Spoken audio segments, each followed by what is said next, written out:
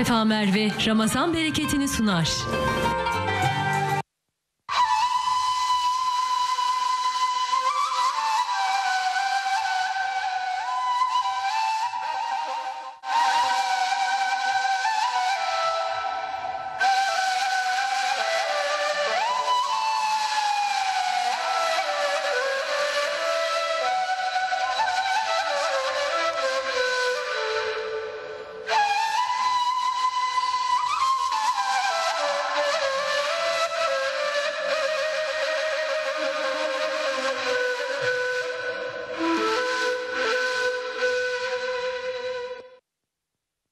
Kıymetli izleyenlerimiz merhabalar. Bir Ramazan Bereketi programı ile yine birlikteyiz. Bizleri bugüne ulaştıran Cenab-ı Hakk'a sonsuz hamdü senalar olsun.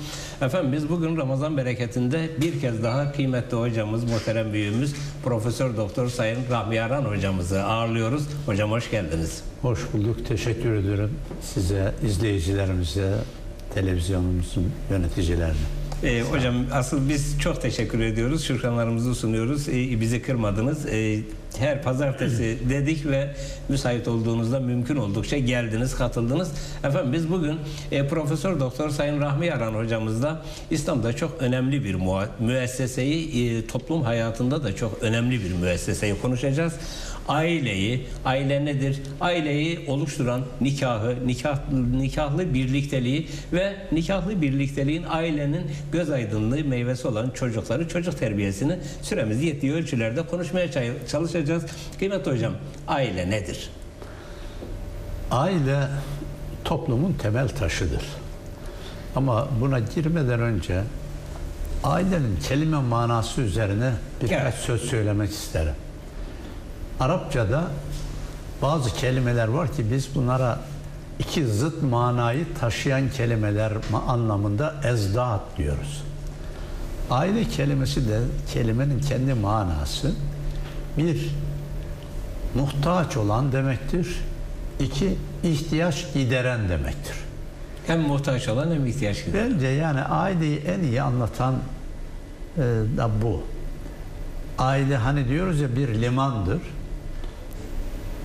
Ailenin fertleri başı sıkıştığı zaman oraya sığınır. Ama oradakiler de başı sıkışanların derdine çare olmaya hazırdır. Şimdi bu iki mana ile ilgili bir ayet ve bir hadisi e, paylaşalım. Lütfen hocam. Vadduha diye başlayan sureyi birçoklarımız biliriz. Evet. Ve bu sürenin içerisinde ve vecedeke ailen fe'agna diye Cenab-ı Hak Peygamber Efendimiz'e hitaben. Yani seni ail buldu. Ail, aile onun müennesi yani femineni diyelim. Yani mana aynı. Seni muhtaç halde buldu. Fe'agna ihtiyacını giderdi.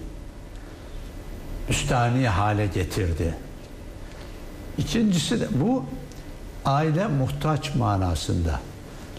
Bir taraftan da iyal filan da diyoruz. Hani Türkçe'de de aile iyali, ehli iyali filan. Yine bir hadis-i şerifinde Peygamberimiz buyurur ki Men ale cariyeteyne hatta tebluğa yevm cae yevmel kıyameti ene ve huve. Bakın işaretle söylüyor. Men ale cariyeteyni burada ale kelimesi önemli. İki kız çocuğunu cariye bu arada söyleyelim. Tabi cariyenin bir köle kadın manası var ama aynı zamanda kız çocuğu manası da var. Küçük çocuklara, küçük kızlara da cariye kelimesi kullanılıyor. Bu iki kız çocuğunu hatta tebluğa bali olana kadar o noktaya kadar kim onların ihtiyacını giderirse burada ihtiyaç gidermek sadece maddi değil. Bakımı, ilgilenilmesi, terbiyesi, merhameti, ya her şefkati, şeyiyle. merhameti. Bu Müslim'deki rivayeti ben okuyorum. Diğer kitaplardaki rivayetlerde işte merhamet de vardır. Evlendirene kadar der bunlar dahil olur işin Yani içerisine. maddi manevi her türlü Evet. ihtiyaç ihtiyacını Giderecek. giderirse kim diyor Peygamber Efendimiz kıyamet gününde ben ve o böyle geleceğiz diyor. Yani Yan o, da, o da benim yanımda olacak buyuruyor. Burada da aile Ale ihtiyaç gidermek manasında. Ailenin e, temeli sevgidir ve merhamettir. Sevgi ve merhametin olmadığı ailede huzur yoktur. Şimdi bu sevgi ve merhametle ilgili bir de aile sükunet yeridir bakın. Sekinet ve sükunet yani huzur. Bir insan ailede huzur bulur. Bir Sure-i Celile Rum suresinin e, bir ayeti kerimesi var. Estaizu billah. Ve min ayatihi en halaka lekum min enfusikum ezvacen. Allah'ın varlığına, birliğine delalet eden hususlardan birisi de şudur ki size kendi içinizden eşler yarattı. Şimdi eşler yani çok böyle dağıtıyoruz gibi ama eş kelimesine de bir e, açıklık getirmek Lütfen isterim. hocam. Şimdi burada kullanılan kelime zevç. Türkçe'de de zevce diye Kullanılır, kullanılır evet. hanımlar hakkında. Zevç eş demek. Nasıl bir eş? Hani bir ayakkabı almaya gidersiniz. Ayakkabıcı ayakkabıyı getirir. Önce sağ ayakkabıyı giyersiniz ayağınıza. Eğer beğendiyseniz bunun eşini getir dersiniz. Onun eşi sol ayakkabıdır. Şimdi siz iki ayağınıza da sağ, şey, sağ ayakkabı giyecek olursanız huzur olmaz. Ayakta rahat olmaz. Ayak rahat değilse sizde rahat yoktur. Evet. Efendim ikisini de yani sol ayakkabıları sağ giyseniz yine öyledir. Birbirinin yerine değiştirseniz yine öyledir. Kadın ve erkek ailede kadın ve erkek öyle bir eştir ki o ikisi bir bütünü meydana getirir ve bir huzuru meydana getirir. Ee, işte eşler diyor Allah burada da. İçinizden eşler yarattı. Liteskünü ileyha. Onda sükunet bulasınız diye. Evlerimize ne diyoruz? Biraz eskiden mesken denirdi. Evet. Şimdi konut da denir. Mesken, sükunet yeri demektir. Huzur yeridir. Ya tam da bu ayette tarif Ha, edilen bu isimle da- müsemma Aynen olmuş bak. aslında. Liteskünü diyor. Liteskünü ileyha. Burada evde eşinde huzur bulsun, sükunet bulsun diye. Gerçekte de evde karı koca hatta çocuklar, ana baba, evlat bunların arasında sükunet ve sekinet varsa o ev hem meskendir, hem huzurludur, hem rahattır.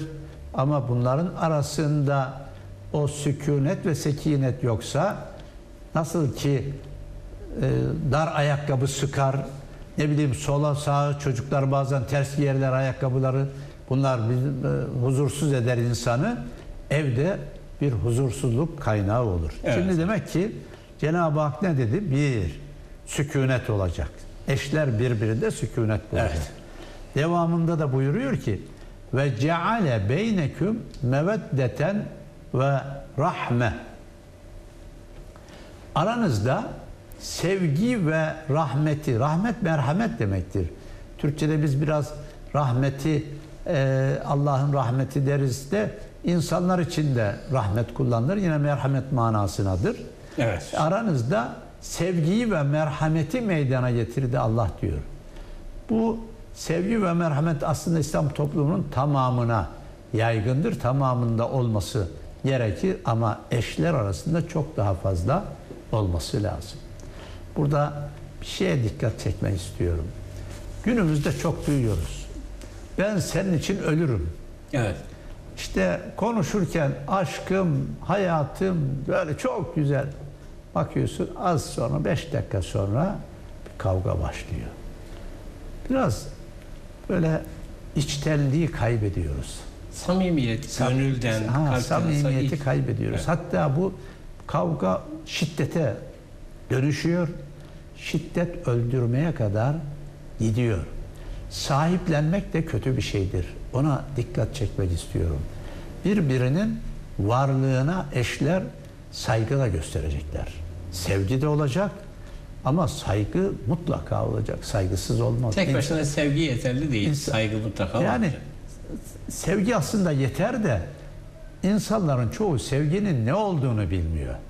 Seviyorum ne yapayım diyor öldürüyor. Yani, Yani yani sevdiğim için öldürdüm.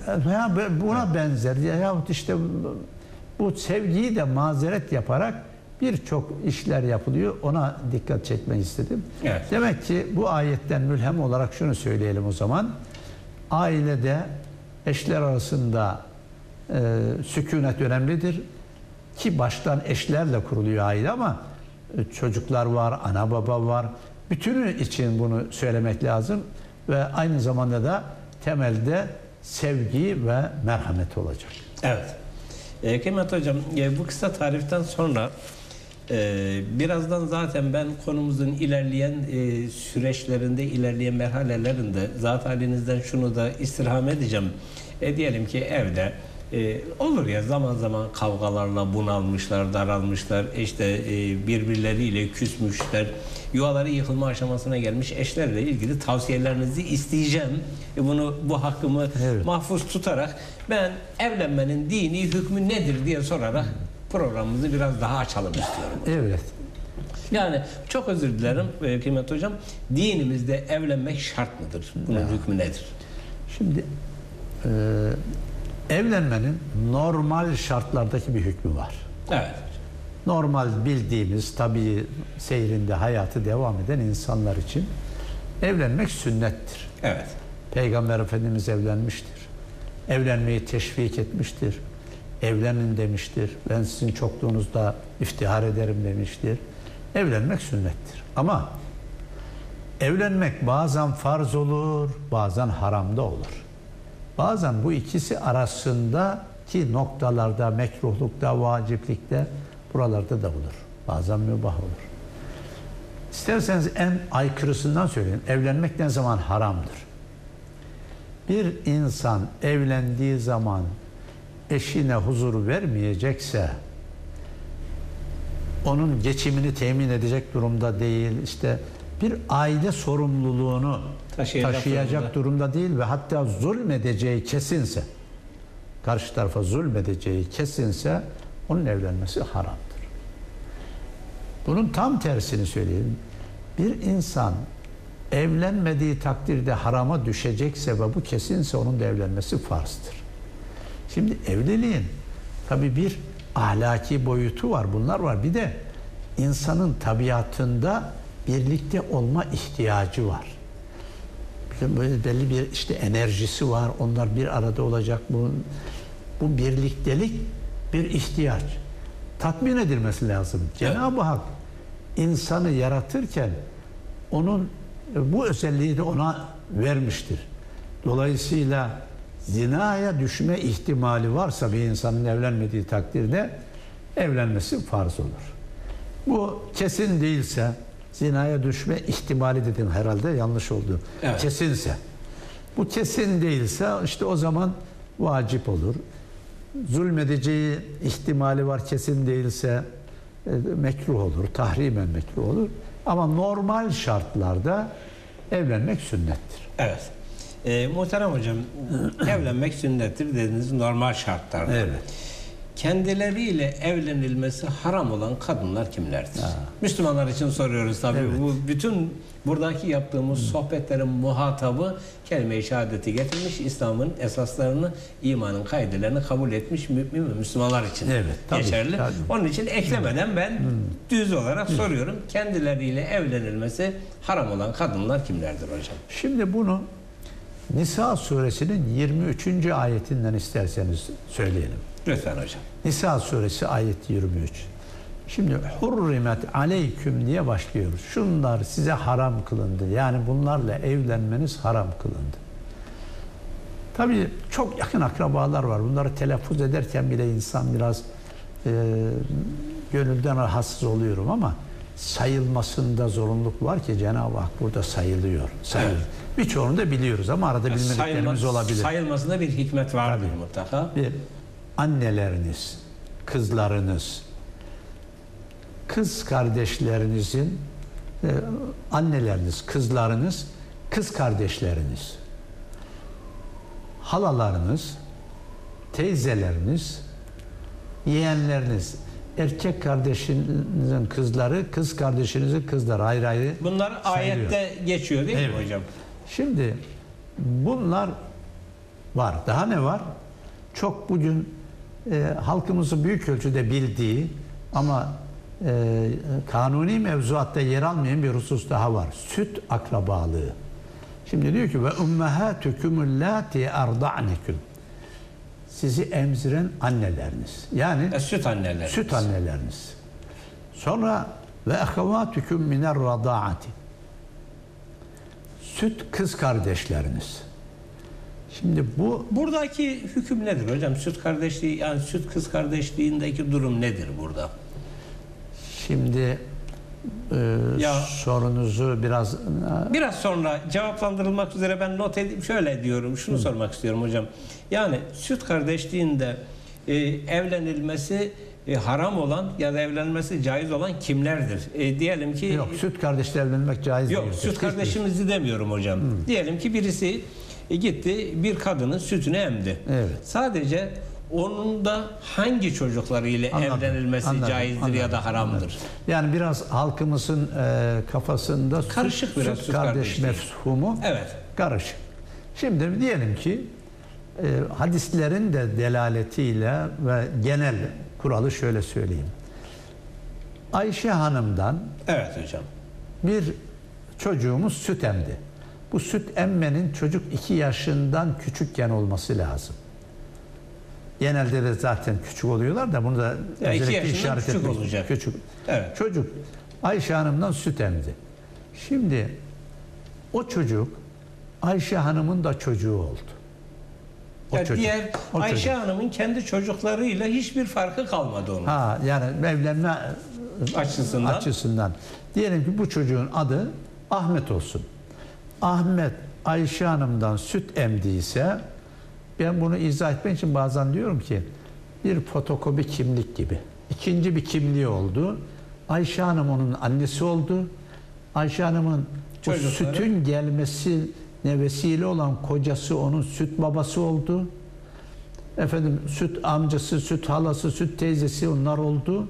Bir de Ayşe Hanım'ın çocuklarının hepsi onun süt kardeşi oldu. Bunların hiçbirisiyle evlenemez. Ya kendisinden önce doğmuş olsalar bile o çocukların Evet. hiçbirisiyle evlenemez. Hiçbirisiyle evlenemez. Tamam sormak Ha. istediğim buydu hocam. Şunu da söyleyelim. Ama şimdi Ahmet onun çocuğu oldu ya. Evet hocam. Ahmet'in beş tane daha kardeşi var. Onlar ayrı.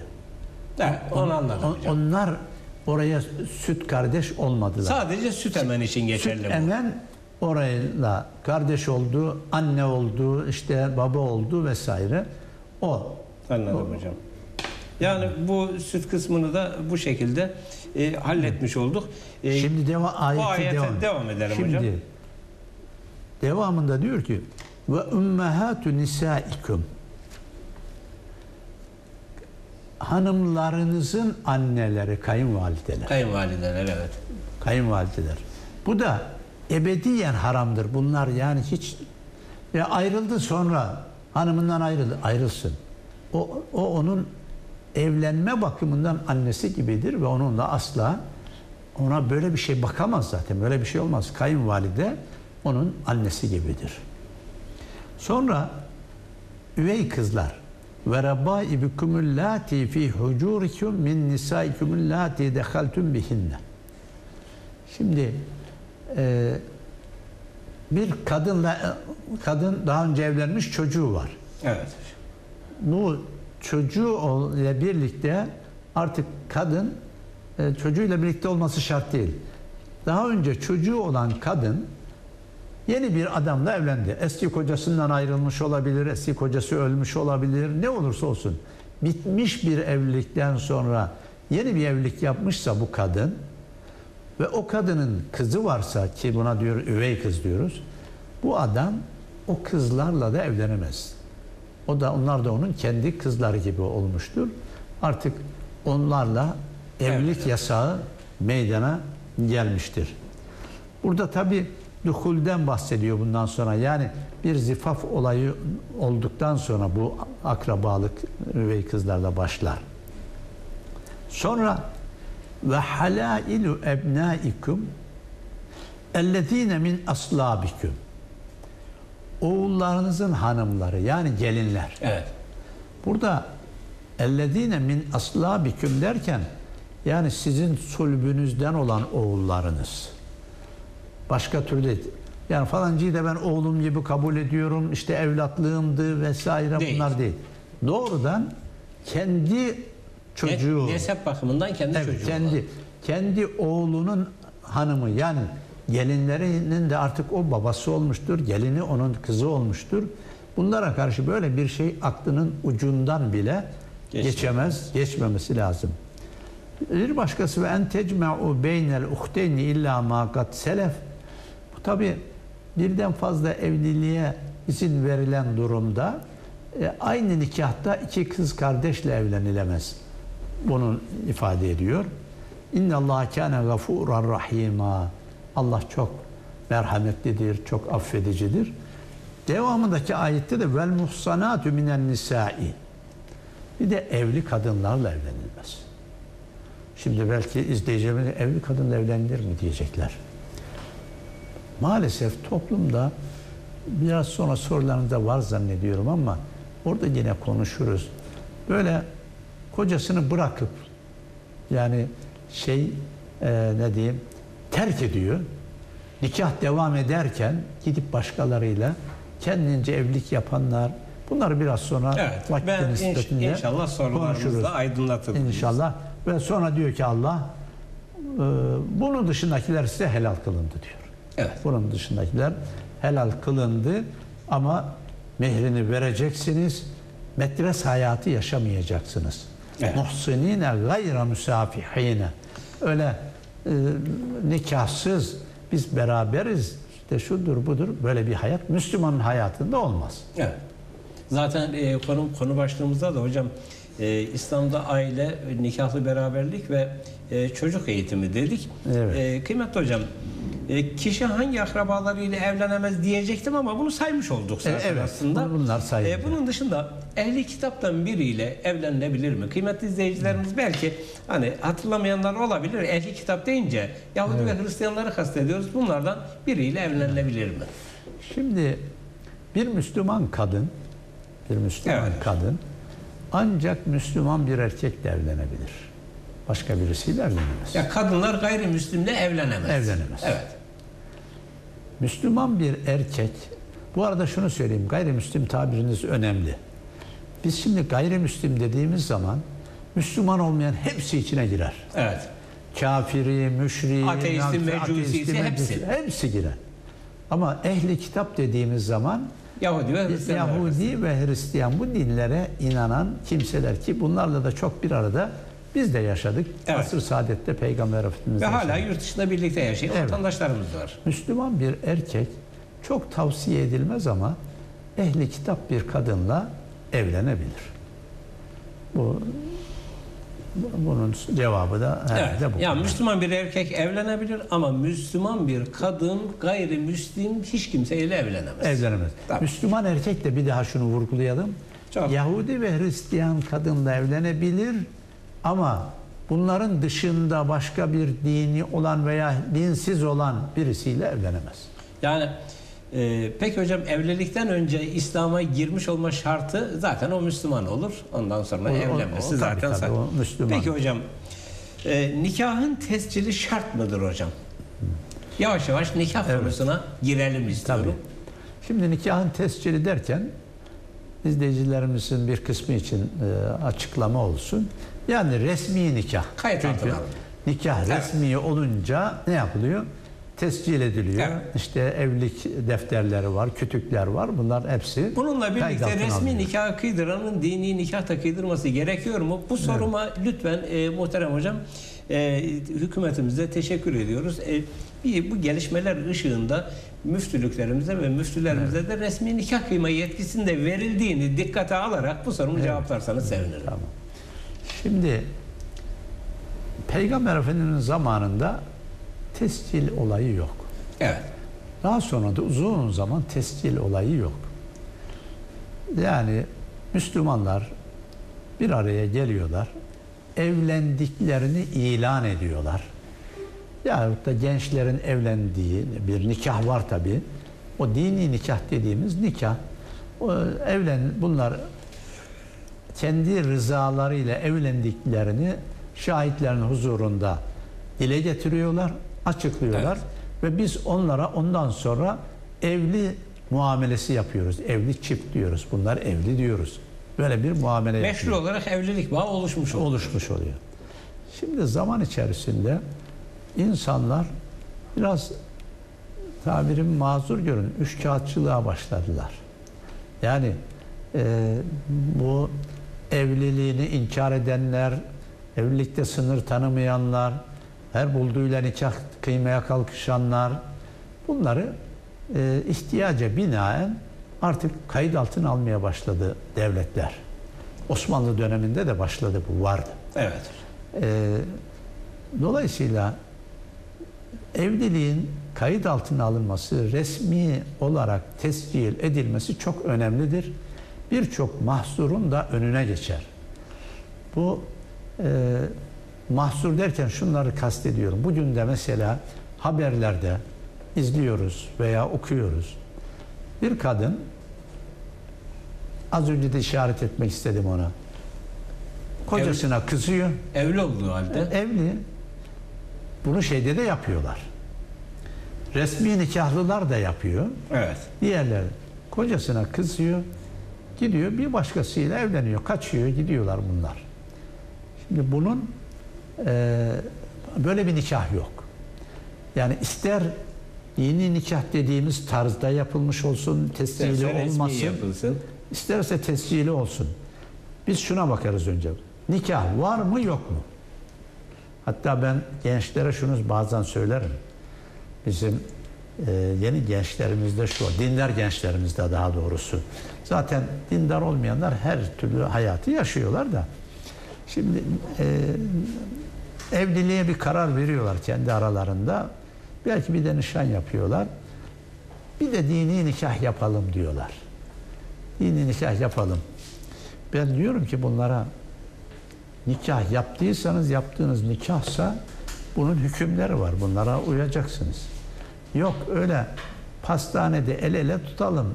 Sahilde Gezelim. gezelim, Kol kola tozalım, gezelim. kol kola gezelim. İşte şurada şunu yapalım, burada bunu yapalım. Ama Nikahta sigortamız olsun. e, Nikahımızı da yani yapalım. nikahımız var diyelim. Fakat kafam kızdığı zaman da yok derim. Böyle böyle bir nikah yok. Yani dini nikahı da yapıyorlarsa nikah olarak yapıp onun gereğini kabul edecekler. Yoksa böyle bir nikah yok. Şimdi şeyler açıldı. Mesela diyelim ki böyle bir nikahı var. Kızıyor kafası.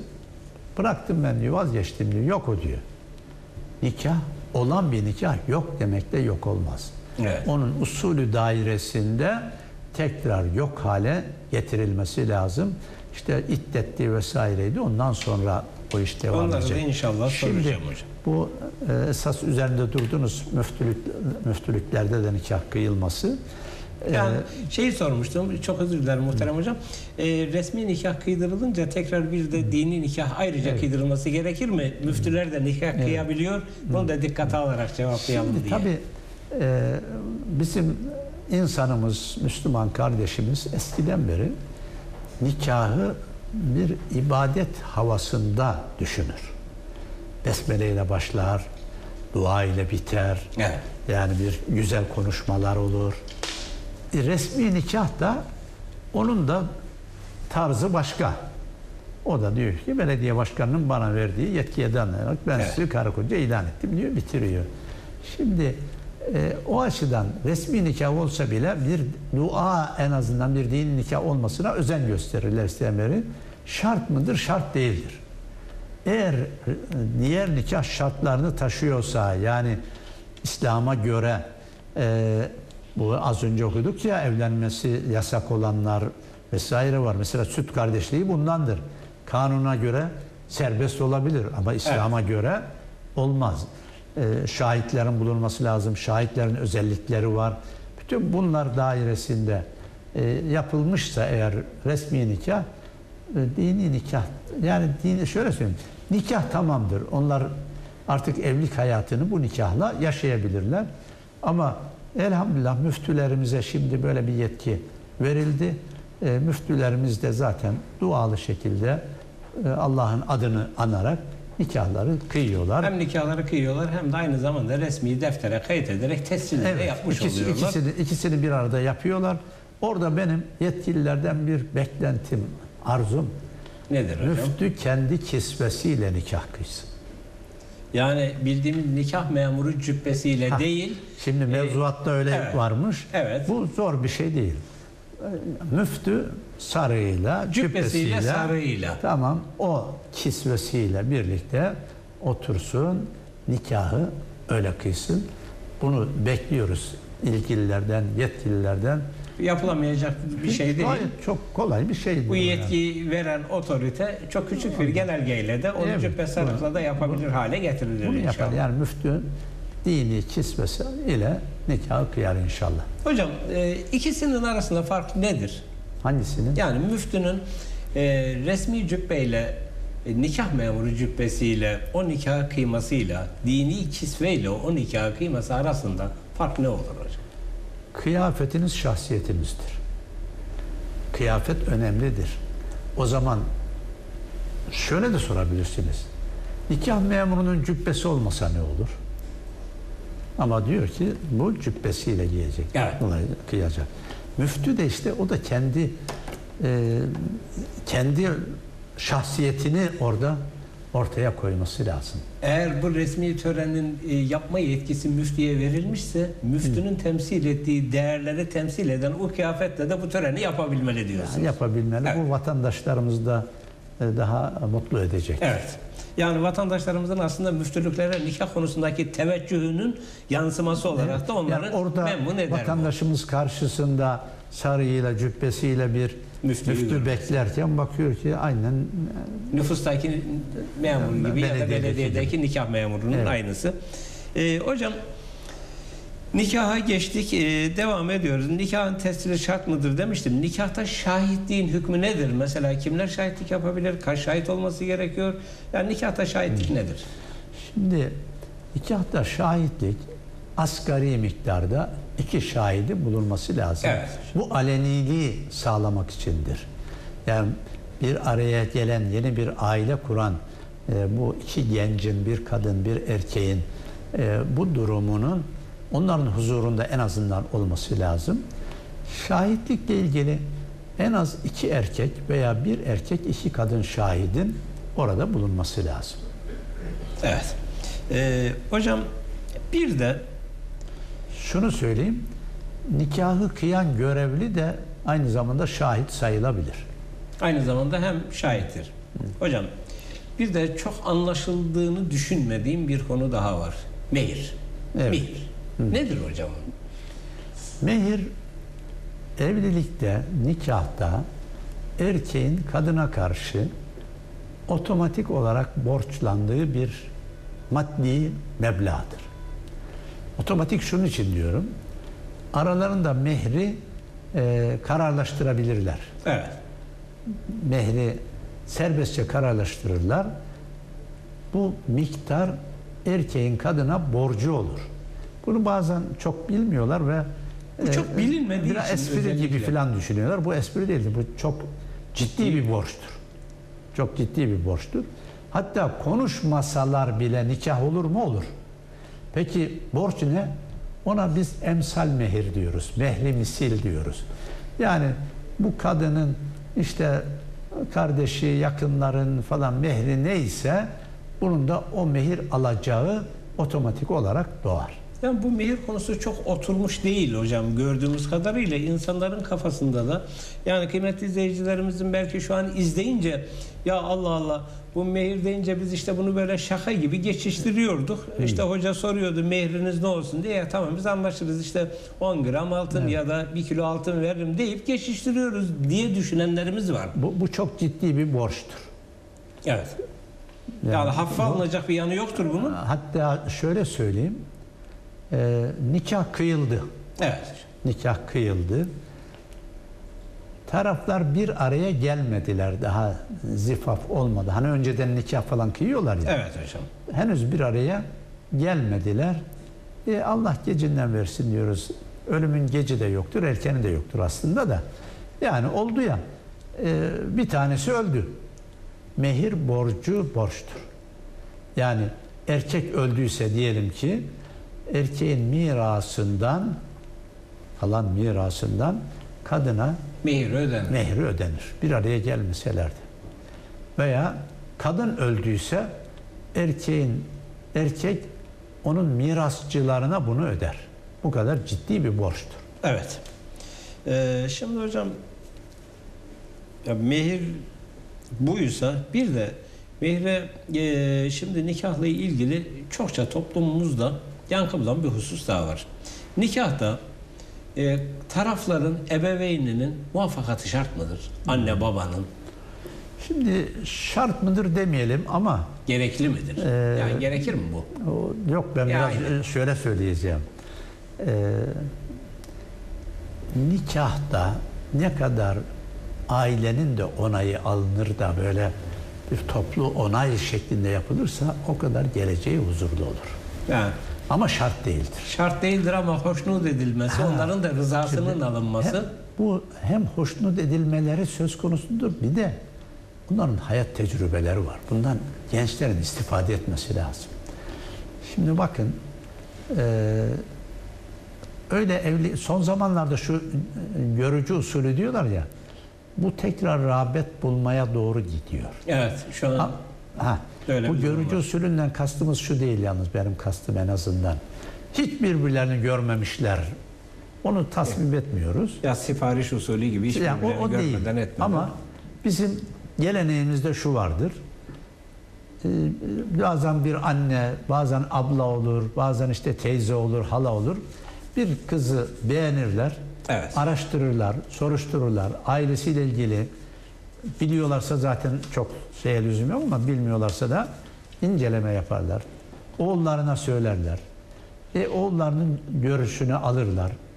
Karşı tarafa durumu bildirirler. Onlar da bu tarafı incelerler. Kıza sorarlar. Kızın görüşü alınır ve bütün bu orta görüşmelerin neticesinde bir olumlu sonuca varılır ve evlilik başlarsa bu evlilik daha kalıcı olur, daha uzun ömürlü olur. Evet. Ee, o açıdan ailelerin e, görüşünün alınması önemlidir. Bunu e, evliliğin kalıcı ve uzun ömürlü olması bakımından önemsiyorum. Fakat aileler de çocuklarına baskı yapmamalıdır. Asıl yetkinin bali olmuş olmaları şartıyla akıllı yani akıllı derken birçok insan akıllı da e, az da olsa toplumumuzda akli melekesi yerinde olmayanlarımız var. E, onları hariç tutmak üzere zaten kitaplarımızda söyler. Aklı başında ergin, bali bir e, genç kız olsun, erkek olsun tercih özellikle onun hakkıdır ama ailesinin görüşünü alırsa kendisi için iyi olur. İleride evliliği daha kalıcı olur, daha huzurlu. Yani nikahın bir şartı değildir ama huzur için gereklidir. Huzur için önemli, Evet. önemlidir.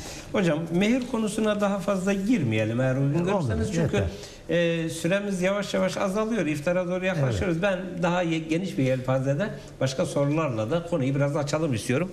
Hocam e, belki buna e, anlaşılmıştır bu mesele ama yine de zat halinizi burada konuk olarak ağırlama imkanı bulmuşken ben bir kez de sizin ağzınızdan e, sizin tatlı sohbetinizle kıymetli izleyicilerimize ulaştıralım istiyorum. İki bayram arasında evlenmek caiz midir? E, Caizdir. Bunda bir şey Nedir yok. bu Böyle toplumda bir şey. Bu iki bayram arası nikah yapılmaz Toplumda böyle bir e, söz var. Böyle bir kaygı var. Yok çok da riayet eden yok toplumda ama Evet. böyle konuşulur. Evet. Şimdi Ramazan bayramı gelecek. Ee, Kurban bayramına kadar evlilik yok. Böyle bir şey yok. Yani. Hatta bu, Peygamberimizin hayatından, sahabenin hayatında da bu dönemlerde evlenenler vardır. Yani iki bayram arasında nikah caiz midir diye bir soru bile e, gereksizdir. Evet. Böyle bir şeye gerek. Hocam e, bazen oluyor uzun yıllar e, gurbete gitti diye biliniyor bir insan uzun yıllar öldü mü hayatta mı e, bundan haber alınamıyor. Bu durumda olan kayıp olup da hayatta olup olmadığı bilinmeyen bir kişinin eşi başkasıyla evlenebilir mi? Ya da evlenirse bunda şartları nedir? Bir süresi var mıdır bunun? Şimdi e, biz e, bu hayatta olmayanlara mefkut diyoruz. Evet. Kayıp. Kayıp da Türkçe'de kayıp değil. Mesela şeyler de kayıp. Bir gemi kazası oluyor. Okyanusta şu kadar Cesedi bulunamıyor. Onlara da kayıp diyorlar. Evet. Savaşta da kayıp oluyor. Kayıplarla ilgili mezheplerin farklı görüşleri var. En belki e, katı diyelim Hanefi mezhebi o insanın öldüğüne dair bir haber gelmedikçe hanımı başkasıyla evlenemez. Mirası da taksim edilemez. Öldüğüne dair haberi gelir. Evet ama Evet. bunu 4 seneyle kayıtlayanlar da var. 4 sene geçmiş haber yok. Bu arada işte mahkemeye müracaat ediliyor. Yani İslami hükümlerin uygulandığı dönemlerde mahkeme araştırıyor tekrar bu nerelerde olabilir, nerelerden haber gelebilir. Bu araştırmaların neticesinde de bu adamın hayatta olduğuna dair bir emareye rastlamazlarsa ondan sonra onun öldüğüne hükmediyorlar. O hükümden sonra kadın iddet bekliyor. Ondan sonra evlenmesine müsaade eden görüşler var. Evet. e, hocam bir de e, bir baba çocuğunu evlendirmekle mükellef midir? Şimdi bunlar e, ahlaki görevler. Ya hukuki, Mükellefiyet değildir hukuk. hukuki görev değil. Evet. Yani bir e, erkek, bir erkek çocuğu için söylüyorum. E, hayatını kazanıp bali olduktan sonra hayatını kazanıp e, sürdürmekle mükelleftir. Ama günümüzde toplumumuz hassastır. Hem çocuklarını evlendirirler, hem okuturlar, tahsil hayatlarını devam ettirirler. Bunlar ahlaki görevlerimizdir. Yoksa e, bunlar Kız mü- mükellefiyet. çocuklarını bilhassa yalnız kız çocuklarını çalışmaya mecbur etmek, o durumda bırakmak bile doğru değildir. Kızların e, hayatları, e, geçimleri e, babaları tarafından yoksa kardeşleri tarafından, yakınları tarafından sağlanmak durumundadır. Evet. E, bir de hocam nikah yaparken eskiden sanıyorum bu böyle Diyan- Diyanet İşleri Başkanlığı'na, Din İşleri Yüksek Kurulu'na sıkça sorulan soruları bir elden geçirdim. Orada şöyle bir soru var. 32 farzı bilmeyenin nikahı caiz midir, geçerli midir diye. Nedir bu? Böyle bir durum var mı hocam? Şimdi biz e, çocukken işte o mahalle mektebinde yazları Kur'an mektebinde Evet. okurduk. 32 farzı say derlerdi bize. Saymaya da şöyle başlardık. Yani tam kelimeleri de şey yapamıyorum ama e, 32 farzı bilmeyenin nikahı sahih ve imanı caiz değildir filan gibi böyle bir şeyle başlardık. Evet. Onun topluma yerleşmiş yani 32 farzı mutlaka bileceksin diye ondan sonra sayardık. Evet. 32 farzın işte 12 salattan, 6'sı imandan, 5'i İslam'dan, 4'ü abdestten, 3'ü usulden, 2'si teyemmümden. Teyemmüm farzı 2'dir, 2 darp bir niyet böyle çocuklara öğretilirdi, öğrenirdi. Ee, ama e, nikah için bu şart değil. Fakat e, bunları da bilmek lazım. Şimdi imanın şartını bilmemiz lazım. İslam'ın şartını bilmemiz, öğretmek lazım çocuklarımıza. E, namaz, e, namazı bilmek lazım. Namazın farzlarını bak.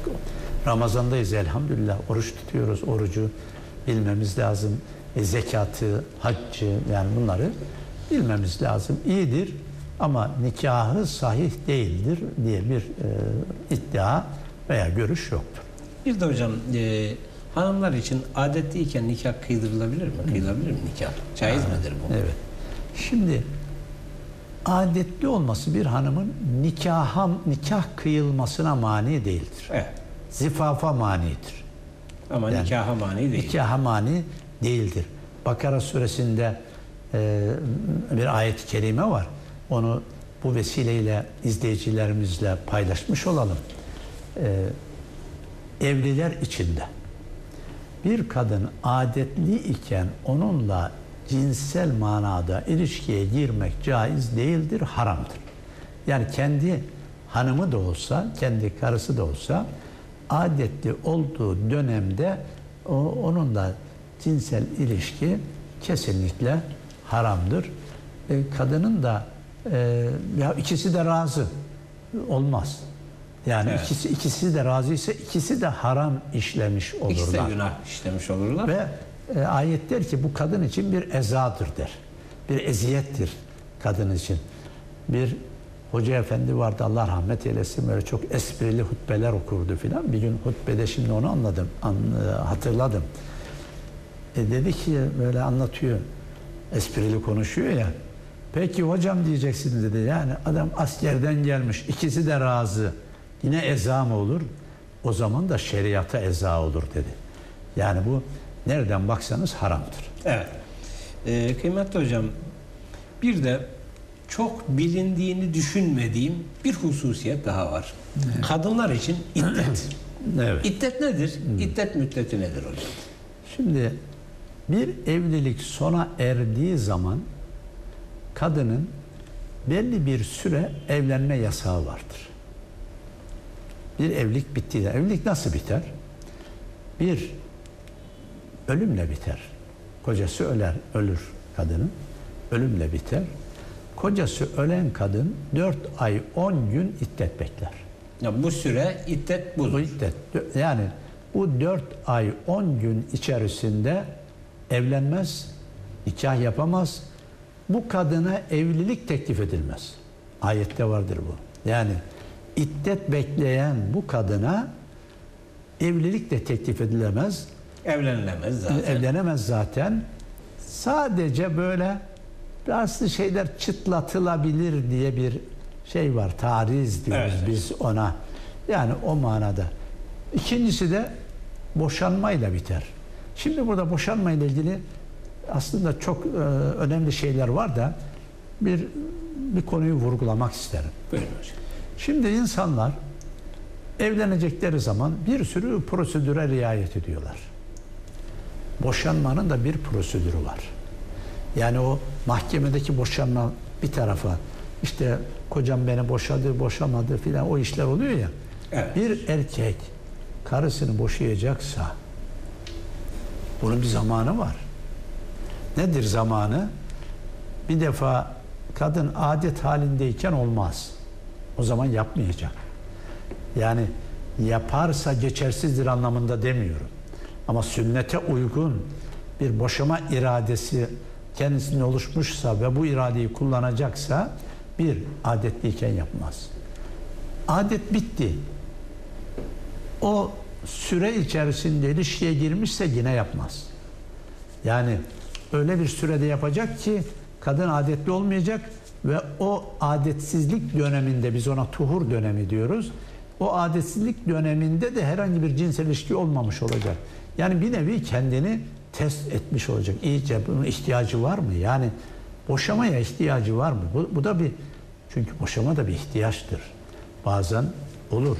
Bu rastgele kullanılacak. Kızdım hemen işte boşadım yahut da buna benzer laflar bunlar çok dine de saygısız laflardır. Bun- Bunlardan uzak duracak. Çok ciddi bir kelimedir. Boşama kelimesi de bunu da usulüne uygun yapacaksa soracak, soruşturacak ancak öyle yapacak. Evet. Ha burada iddete şimdi gelelim. Boşama iddetine. Boşandılar diyelim ki. Boşandıktan sonra adet görüyorsa kadın o boşamanın üzerinden üç adet geçecek. Bir geçti, ikisi, üçüncü adeti de bitecek. Ondan sonra iddet biter ve o kadın ondan sonra ancak başkasıyla evlenebilir. Bunlar bugün yasal mevzuatımızda gün olarak da belirtilmiş. Biz fıkıhtaki Hükümleri. e, hükümleri söylüyoruz. Ki o da selaste guru der. E, ayeti kerimede yine bunlar vardır. Peki e, bir kadın adet görmüyor. 70 yaşında kadın, 60 yaşında kadın. Onun için durum boşandı. Onlar da 3 aydır. 3 ay geçmesi lazım. Ondan sonra ancak e, evlenme evlenebilir. Evet e, hocam Boşal, ko- kocasından boşanmış kadına iddet içerisinde hiçbir şekilde evlilik teklifi yapılamaz. hele biraz önce sohbetimizde söylediniz bunu ilerleyen e, sorularınızda açacağım dediniz. Evliyken bir başka kadının bir başkasıyla kaçıp evlenmesi ya da onunla evlendim demesi zaten hükümsüzdür demiştiniz Evet, hocam. evet. Bu nikah değildir demiştiniz. Burada bir şey daha şimdi siz bunu söylerken aklıma geldi. Bir de nişanlıyken kaçanlar var. Evet. Veya birisinin nişanlısını kaçıranlar var. Orada durum nedir hocam? Şimdi Peygamber Efendimiz bir hadis-i şerifinde der ki birisi hitbe üzerine hitbe yapmayın. Yani bir evlilik e, teklifi yapılmış, iş rayına girmiş, nişanlı olmasa bile o işi bozup hadi benimle evlen Evet. tarzında araya girmek haramdır Yani iş veya bozmak. mekruhtur, tahrimen mekruhtur. Buna da dikkat etmek lazım. Bilhassa e, nişanlılıktan sonra e, onu bitirmeden nişanlıyken başkasıyla birinin nişanlısına işte bu gözle bakmak, onu ayartmak, onu kandırmak, ne bileyim e, bunların hiçbirisi dinimizin tasvip ettiği hususlar değildir. değildir. Bir de hocam e, cuma geceleri ve bayramlarda, kandil gecelerinde genelde camilerimizde e, tövbe istiğfarınla birlikte bir nikah tazeleme duası yapılır. Var Evet. mıdır bunun bir geçerliliği? Şimdi bu var son zamanlarda kalktı elhamdülillah büyük ölçüde kalktı. Nikah baştan nasıl yapılıyorsa tazelemesi de öyle olur. Yani böyle her hafta Toplu nikah tazelemeleri böyle- nikah- böyle bir şey olmaz. Evet. Yani ne demek? Nikah yaparken kadın vardı, erkek vardı, şahitler vardı. Burada e, işte soruldu. Hatta sorulmadan bile söyleseler yani adet olarak yoktur da Evet. ama kadın dese ki ben seninle evlenmeyi kabul ettim, erkek dese ki ben kabul ettim. İki kişi de duydu onların yanında nikah olur zaten. Ama e, böyle bir şey olmadan o camilerde yapılan işte kendi adıma asaleten, zevcem adına vekaleten filan bunların e, nikah değeri yoktur. Evet hocam. E, peki hocam mazeretsiz olarak e, cuma namazına üst üste üç defa gitmeyenin nikahı düşer mi? Böyle bir e, Bunlar toplum da- arasında böyle bir söylenti var. Tabii cuma namazı çok önemli bir aslında namaz çok önemli bir ibadet. Yani günlük namazlarımız günde beş vakit namaz da çok önemli. Onları ihmal etmemek lazım. E, Cuma'yı da ihmal eden daha azdır. Toplumumuzda Cuma'ya daha bir özen gösterilir. Evet. E, bu yine Cuma'nın önemine dikkat çekmek üzere söylenmiş bir sözdür. Evet hocam. Ee, kıymet hocam e, bu anlattıklarımızın içerisinde bir de e, Allah Resulü'nün e, Peygamber Efendimizin sallallahu aleyhi ve sellem çok eşliliğiyle, çok evliliğiyle ilgili birkaç cümleyle aydınlatıcı bilgi verirsek e, şık düşer diye burada düşünüyorum. Peygamber Efendimiz onun hususiyetlerindendir. Evet. özel durumu e, vardır. Bu eşlerinin birçoğu zaten yaşlı kadınlardır. İçlerinden genç olan çok azdır. Birçoğu yaşlı kadındır, kocası ölmüştür, himayeye muhtaçtır. Onlar da kendileri için bir şeref telakki etmişlerdir. Peygamber Efendimizin nikahı altında olmayı bu şekilde evlenmiştir. Ama buna rağmen, buna rağmen Peygamberimiz eşleri arasında da adalete riayet etmiştir. O çok evlilikte adalete riayet çok önemli bir husustur. Öyle eskiden bizim buralarda da olurdu. Eski hanımını işte bırak yaylada o peynir yapsın, süt sağsın, şunu şunu yapsın. Evet. Sen yenisiyle gel e, işte şehir merkezinde hatta turistik yerlerde gez, dolaş. Böyle bir şey yok. Yani ya bir gece bir gece, bir hafta bir hafta geceleri e, ikisine eşit şekilde taksim etmek zorundadır. Evet. Ee, hocam aslında çok soru var ama e, programın başında da söyledim. E, ben oldukça kıymetli izleyicilerimizin kafalarında çokça merak ettikleri ve istifade edebilecekleri soruları e, yönetmeye e, gayret ediyorum. Bu arada E, Sağ olun. İyi bir hazırlıkta yapıyorsunuz yani Allah bunlar razı için. Estağfurullah hocam. Ee, Sizin gerçekten- karşınıza hazırlıksız çıkmak e, tabii çok Estağfurullah. Yani bizim değil de izleyicinin karşısına gerçekten ben- hazırsız çıkmamak. yeteri kadar bilginizden ve ilminizden istifade edelim istiyorum. Ee, Bunu istifade edebilmemiz için de çeşitli yelpazelerde sorular yönetmemiz gerekiyor. Hocam programın başında da kıymetli izleyicilerimize programı takdim ettikten sonra zat halinize arz ettim. E dedim ki e, meşru bir e, nikahla aile birliği kurulmuş karı koca arasında zaman zaman e, kavgaların olabildiği hatta ayrılmanın eşiğine gelebildiği işte burada şiddet olaylarının gerçekleştiği durumlar yaşanıyor. Burada İslam hukukunda karı koca arasında meydana gelen anlaşmazlıklara hemen mahkemeye gitmeden daha e, resmi olarak boşanmadan önce bir çözüm önerisi var mı İslam hukukunda? Şimdi e, bu konuda Kur'an-ı Kerim bir hakem müessesesini tavsiye eder Evet. öncelikle. E, yani görülüyor ki ailede sıkıntı var. Karı koca sıkıntılı. Kadın tarafından bir aklı başında bu işi sağlayacak birisi, erkek tarafından da yine bu işi sağlayacak aklı başında birisi tayin edilir. Ee, bunlar aileyi uydurmak için, bir arada tutmak için ellerinden gelen gayreti gösterirler. Adeta hakem atanıyor. Hakem, hakem evet. Yani bunlar e, bu işi sağlarlar ve neticede ya evliliğin devamına karar verirler yahut da bu evlilik yürümeyecek derler. Ondan sonra resmi prosedür On- neyse yapılması gereken bu işler yapılır. başlar. Ama hiçbir şekilde bunu vurgulamak isterim. Şiddete yer yoktur. İslam'da asla şiddete Öyle bir şey yok. Yani Ailede dö- şiddete yer döverim, yok. kırarım diyorum ya başta dedim hani sahiplenmek sanki o bu benim malım der gibi ki malına bile insanın ayrı bir İyi davranması verir. gerekiyor. Yani şimdi e, bir elbiseyi kaç sene giyiyorsunuz da kaldırıp atamıyorsunuz yani. Evet. Bir ne bileyim evdeki bir eşyayı bazılar atıyor ama ya onu atmak da insana bir şey geliyor yani zor geliyor. Zor geliyor. Evet.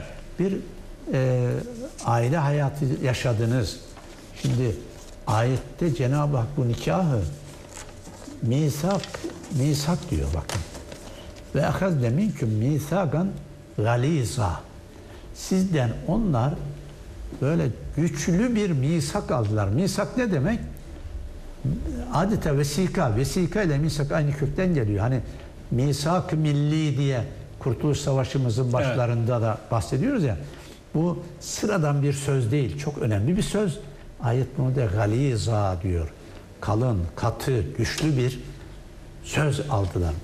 Böyle bir nikah beraberliği. Bu, bu neyin beraberliği? İlk girişteki ayette okuduk ya. Evet. Sevgi beraberliği olacak, merhamet beraberliği olacak, sükunet, sekinet beraberliği olacak. Şimdi bunu sağlayamıyorsanız eh, şey gibi ayrılacaksınız. Biraz önce dedim ya bekleyeceksin. e, adet halinde olmayacak. Temizlik döneminde olacak. O dönemdeyken ya hadi bugün şöyle bir e, nefsimizi tatmin edelim. Yarın bu işi yaparım. Yok öyle şey. Tamam. Şartlar var, şartlarına Ha, Ondan sonra e, talak olayı ondan sonra başlayacak. İddet bitecek falan. Böyle bir süreç devam edecek. Talak da e, veya boşama da çok kötü bir şey değil. Biz aslında boşamanın hep aleyhinde konuşuyoruz ve kendisini de gündeme çok getirmiyoruz. Benim şu anlattığım prosedürleri belki ilk defa duyan Evet. ne kadar izleyicimiz var. Biz şimdi bu işte ebgadul halal diyoruz. En e, hoş olmayan helal diyoruz ama e, bazen de kurtuluş yoludur. Yani çıkışı ancak bunda bulabilir insanlar. E, dolayısıyla şiddete dikkat çekmek istedim. Günümüzde çok duyuyoruz. E, ayrılmak istemiyor gidip kadın tabii mahkemeye müracaat etmiş veyahut da vuruyor, öldürüyor, yaralıyor, evliliğin içerisinde oluyor. ayrıldıktan sonra oluyor. Ayrılmışlar kadın yeni bir e, tercih yapacak, başka birisiyle evlenecek, gidip o adamı vuruyor yahut kadını vuruyor, ikisini vuruyor. Bunların dinde yeri yoktur. Hocam e, aslında çok fazlaca sorum var sormam gere- sormak üzere hazırladım ama Evet. e, vaktimiz azaldı. E, son bir 5-6 dakikalık bir vakitimiz var kullanabileceğimiz. E, ben bu arada e, sanıyorum kıymetli izleyicilerimizin nikah, e, e, boşanma, boşanmaya ait hükümler, iddet ve buradaki hükümler mehir konularında yeterince bilgilendirdik. Ben bu arada Sıla-i Rahim ile ilgili bir 5 dakikalık süre kullanalım Evet. istiyorum hocam. E, Sıla-i Rahim nedir? Akrabayı ziyaret noktasında ya da akrabalarla ilişkilerimiz noktasında e, belki hocam e, siz de bu memleketimizin yetiştirdiği bir değer bu memleketin evladısınız bilirsiniz örflerimizi ananelerimizi belki size de bu serzenişler gelir kiminle otursak akrabalarından şikayetçi akrabalarından dertli Şimdi akrabalarla ilişkiyi kesmenin, akrabalarla bağ koparmanın hükmü nedir? Akrabalık hukukunda dikkat etmemiz gereken hususlar nelerdir hocam? Şimdi Sezgin Bey hani kimle otursak akrabasından dertli ya. Evet. O akrabayla da otursak o da ondan O da dertli. bizde, o da ondan dert. Evet. O da ondan. Yani biz şöyle bir toplum olmaya başladık son zamanda. Hep dert yanıyoruz. Hep şikayetçiyiz. Şikayetçiyiz. Hep bir şeyler bekliyoruz. Verme taraftarı değiliz. Şimdi başa dönelim. Aileye ne dedik? Aile bir limandır. Sadece o çekirdek aileyi düşünmeyin. Daha büyük bir aile olarak Evet. düşünün. Aile bir limandır. İhtiyacım olduğu zaman güvencemdir arkamda. Ben o limana sığınırım. Oradan güç alırım. Ama ailenin içerisinde ihtiyacı olanlar var. Benim durumum iyiyse de ben onlara güç veririm, destek veririm. Bu anlayışın içerisinde olmak. Aileyle birlikte. Sıla-i rahim kelime manası. Rahim diyoruz ya hani Evet. ana rahmi diyoruz. Sıla da eklemek demek. Birbirine vasletmek. O kelimeden geliyor. Akrabalık ilişkilerini canlı tutmak. Bunu e, Kur'an-ı Kerim'de e, birçok yerde Cenab-ı Hak da bahseder. Peygamber Efendimiz de sallallahu aleyhi ve sellem bundan bahseder. Ee, mesela fasıkların vasıflarını sayarken Bakara suresinde Cenab-ı Hak hemen bakıyorum 27. ayet. Ellezine yengudun ahdallahi min ba'di mithaqihi ve yaktaun keserler ma emarallahu bihi en yusale. Allah'ın vasfedilmesini emrettiği şeyleri onlar keserler. Bunu sılay rahimle irtibatlandırıyorlar. Evet. Yani e, akraba ilişkileri. Hutbede e, en son ne okuyor? Bir ayet okuyor. Nahl suresi 90. ayeti okuyor hocamız. İnna Allaha ye'muru bil adli Her cuma dinliyorum. Evet. Vel ihsani ve itai zil kurba. Bakın akrabaya vermeyi emreder. Şimdi biz burayı hep şöyle düşünüyoruz. Ya bana vermiyorlar. E sen de vereceksin. Evet. Bu verme biraz sevgiyi de vereceksin, saygıyı vereceksin, güven vereceksin. Ama hep başkasından beklenmez. Beklemezsin. Ve atizel kurba hakkahu. Yani akrabaya hakkını ver. İsra suresindeki bir ayeti kerimede. Ee, akraba ile ilişkiler e, sadece vermekle değil, ziyaretler olacak, hastalar ziyaret edilecek, e, hasta olması da ziyaret edecek. İlişki devam edecek ve e, Bağ kopmayacak. Bağ kopmayacak. Hatta e, öldükten sonra bile o akrabalıkları yenileriyle, onların nesilleriyle devam ettirmekte e, yine dinimizin e, önemli hususiyetlerinden, özelliklerinden birisidir. Yani burada hocam şunu diyebilir miyiz? Ee, akrabamızdan eğer zulüm derecesinde bir kötülük görüyorsak e, burada en azından cenazede, düğünde e, yani sevinçli gününde, üzüntülü gününde yine de bir arada bulunmamız gerekir mi? Şöyle söyleyeyim. Ya da nedir burada Yani durum? e, selam vermek karşılaştığında selamını almak, e, asgari bunu yapmak lazım. Evet. Diğer insanlarla da bunu yapmak lazım. Ya tamamen Ama şunu tabii sizin bu açıklamanızdan şu da var. Ee, akraba olur veya başkası olur. Öyle insanlar var ki yani Biraz yaklaştın mı sıkıntıdır. Uzak durulmasında bazen Ha, yarar oluyor. Çok, e, yani o dengeyi de iyi kurmak lazım. Evet. E, ona göre hareket etmek lazım. Ama dargın olmamak lazım. Dargın olmamanın şeyi nedir?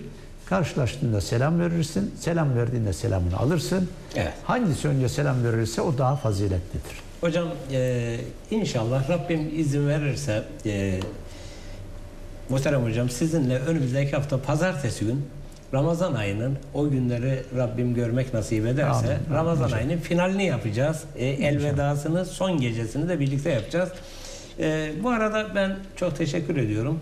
E, ömrünüze sağlık, afiyet, bereket diliyorum. E, ilminize Rabbim ziyade eylesin. E, daha birçok e, gün ve gecede yine sizinle birlikte kıymetli izleyicilerimizi bilgilendirmeyi Cenab-ı Hak bizlere de nasip eylesin.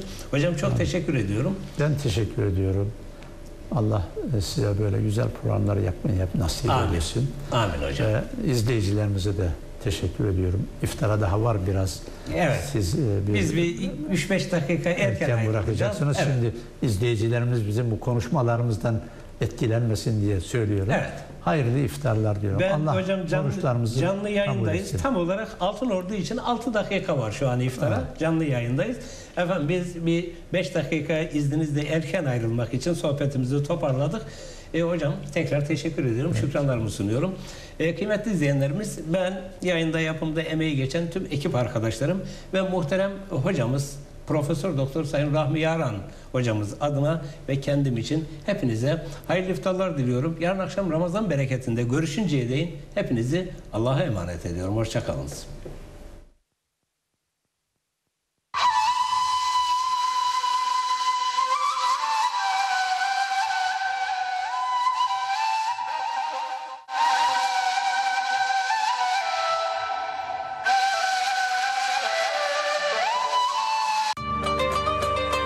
Sefa Merve Ramazan bereketini sundu.